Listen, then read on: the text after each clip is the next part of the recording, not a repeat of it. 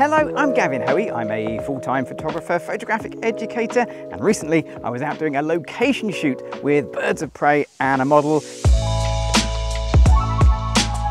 And in this video, I'm going to share my three top tips for getting great location portraits. My first tip is to plan ahead. Is there a theme? Is there a style to your photo session? If there is, they need to be accounted for. Now we had a real vintage theme for two different looks.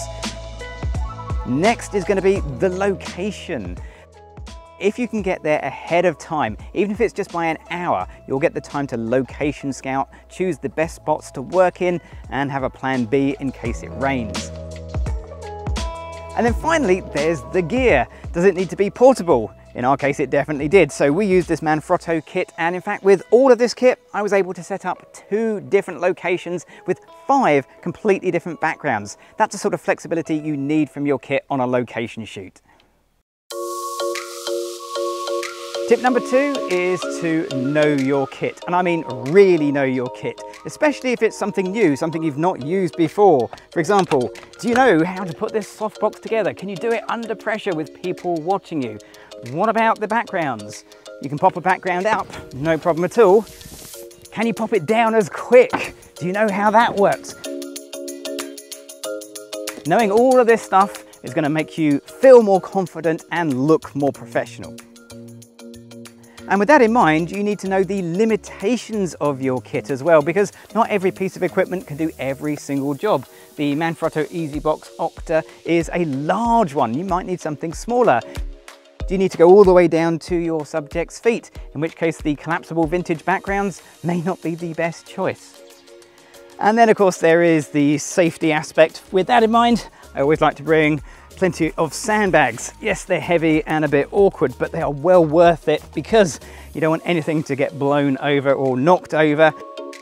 If you are using sandbags, make sure that they are not actually touching the ground because if they are, they're not doing their job properly.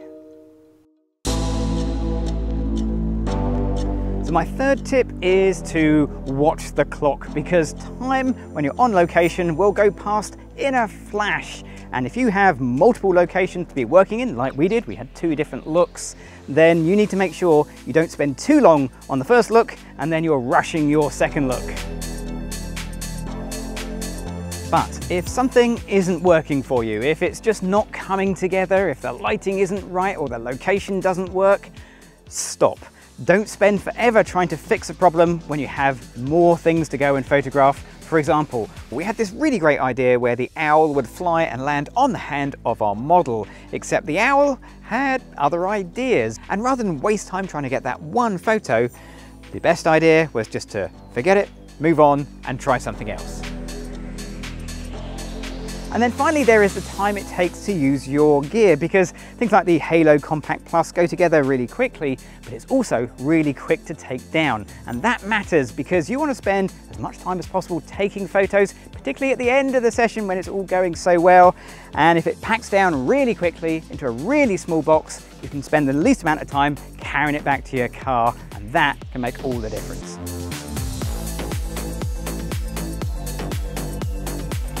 And the great thing about the Manfrotto kit is it's quick to put up, it's fast to take back down, it fits into really small boxes, making it super portable.